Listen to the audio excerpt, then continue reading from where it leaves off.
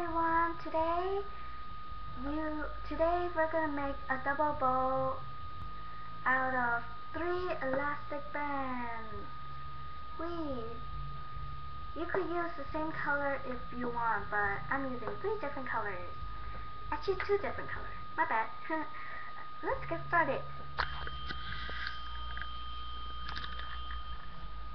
So you want three bands. Let's start with the bigger band. Okay, so you put it in the middle. That looks like a circle map. You see? It's like a circle map. And then you get one. Press the other one down. See? And then you could see it's that. And then you see the other band right here. This one. This one. You grab that one. And then you just pull. You want to pull that as hard as you can, well not that hard, and then you get it in the middle, and get your other band ready, in the middle. You see how it shapes like a bow?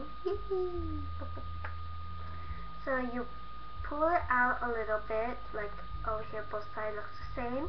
Not too much though, or else you're just to mess it up. And you just get this part here you slip your other rubber band in here and you just pull. You need to make some adjustments because it might not be like a perfect bow.